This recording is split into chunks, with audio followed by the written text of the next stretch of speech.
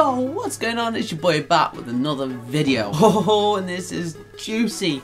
Top 10 most elite special forces in the world. Who's going to take that number one spot? I reckon I know it's going to be. So that's what we're reacting to today, guys. I don't know why I haven't done this earlier. It's going to be very interesting to see what the world thinks are the most elite special forces in the world. And we're probably going to find out about some units I have never heard of before, alright? So this is going to be very interesting. But first, before we get to the video, a little bit about me. I served five years in the army, okay, there's all my army pictures behind me, in the Falklands and Depot, okay. My name's Nicco, um, I do military content, we talk about different units from all over the world, and I also do airsoft, okay. There's the airsoft kit.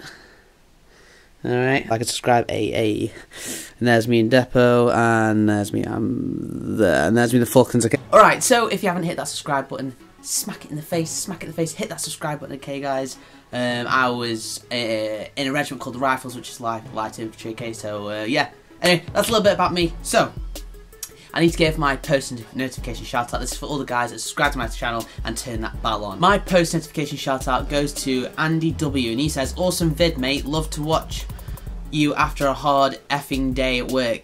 Keep it going, mate. Take care with it strong emoji. Thank you very much. If you want a post notification shout out, this is all you gotta do. All you gotta do is press the subscribe button, press the little bell, and tick the box. Geezer. Okay, without further ado, okay guys, boys and girls, hey hey girls, hey hey, let's check out this video.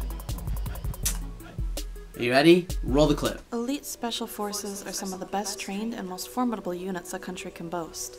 Whether emerging from the water to silently take out guards, or storming a plane to rescue nice. the hostages and eliminate the hostage takers, okay. Special Forces take on some of the hardest missions and live some of the most secret lives in the military world. These troops are the ones that states look to in order to get the job done.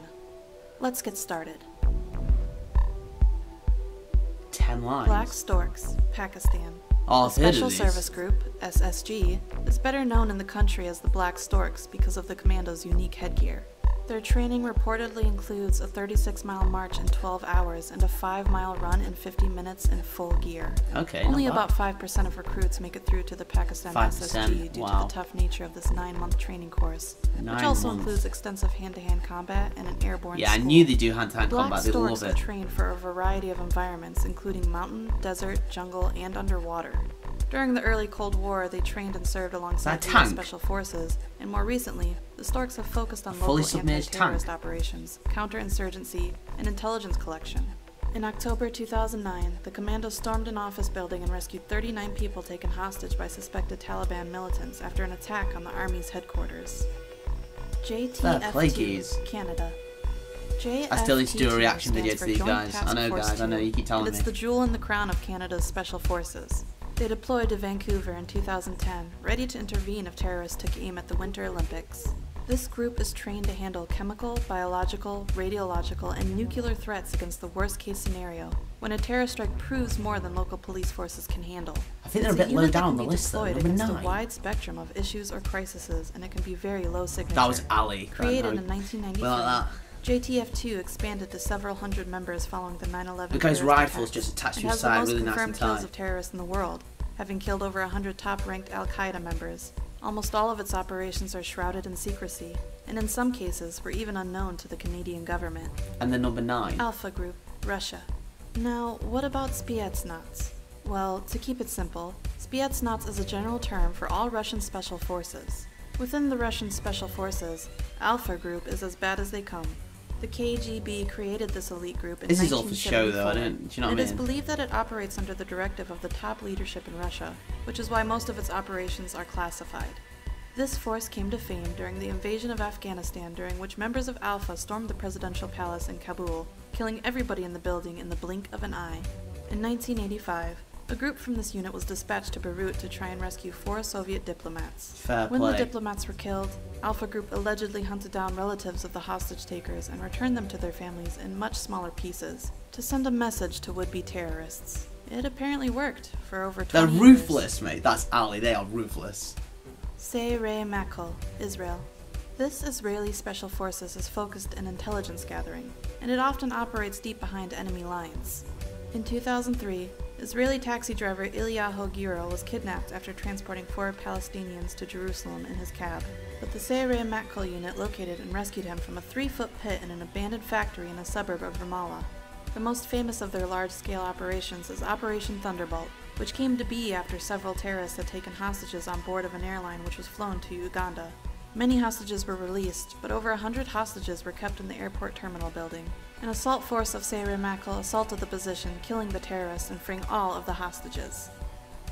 GIGN, France. GIGN, we reacted to these. counterterrorism teams are some of the finest in the world so and have proven their abilities and bravery over decades Abro of dangerous above Canada, operations. Though? But unlike many anti-terrorist units, GIGN is also used in arrest of dangerous criminals, countering barricade suspects, foiling prison riots, VIP protection, and other high-risk police operations within France or former colonies. What I find interesting, Since yeah, founding, with them helmets GIGN on, it must be really hard to get our action. relief when they're looking through the weapon considered system. absolute masters of hostage rescue and intervention, especially in high-density environments like buses, ships, trains, and airlines.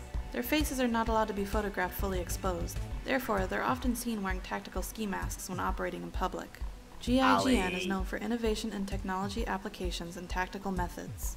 Their most famous operation is their assault on Flight 8969, which was an Air France flight that was hijacked on December 24, 1994, by the armed Islamic group in Algeria, where the terrorists murdered three passengers with the intention to blow up the plane over the Eiffel Tower in Paris.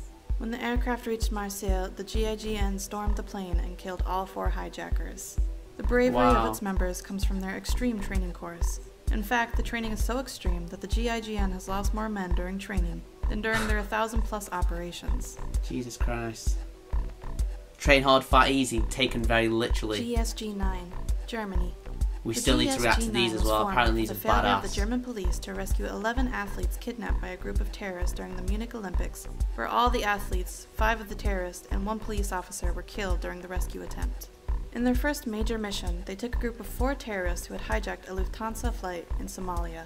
Three of the terrorists were killed, and the fourth captured during the rescue, but none of the 86 hostages were killed. Between 1972 and 2003, the GSG 9 had successfully completed over 1,500 missions. I like the use of yet only discharged a weapon five times, two of which were to shoot the attacking dogs of people they were trying to arrest. An estimated 300 to 400 people now work within the GSG 9, but the exact figure is not known. Its work today concentrates on counterterrorism, hostage situations, and disarming bombs. J.W. Wow, Grom, Hilut Ali. Poland.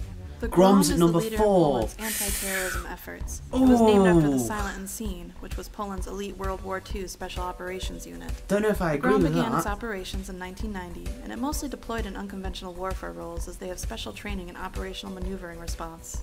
Since the terrorist attacks of 2001, the GROM has been deployed alongside U.S. Special Operation Forces in Iraq, Afghanistan, and elsewhere. Hmm. During this time, they have developed a close working relationship with the U.S. Navy SEALs and have a well earned reputation of being one of the fiercest and most competent special forces on the planet. Their Hmm. training includes a variety of disciplines. All of the soldiers undergo the same specialized training in anti terrorism and special operations, as well as frogman, sniping, and parachuting. In four man teams, each soldier must be prepared to assume the respective responsibilities of They his look colleagues. so Ali, they? That kit literally looks so on Approximately point. 75% of GROM personnel are trained as medics or paramedics and can speak multiple languages. In addition, each group is supported That's by impressive several that they can speak multiple physicians. languages, to be fair to them. Navy SEAL Team 6, USA. you Number knew these guys were have to show up sometime, didn't you? The SEALs are an American Special Forces group created in 1962 which have achieved near mythical status. This is, in part, thanks to Operation Neptune Spear, the mission in which SEALs killed Mm. Osama bin Laden, the leader of Al Qaeda in 2011. One interesting fact about this mission is that the aircrafts used in the raid were from Area 51. In fact, Area specially modified 51, mate, that carried Red Squadron of so SEAL Team 6 Ali. in Pakistan for the raid on Osama bin Laden's How compound. Gucci The is Black that? Hawks were fitted with top secret radar Their kit is more classified than they are. forces to slip across Mental. the border unnoticed. These stealth aircrafts were developed and tested at the infamous Area 51 near Groom Lake, Nevada.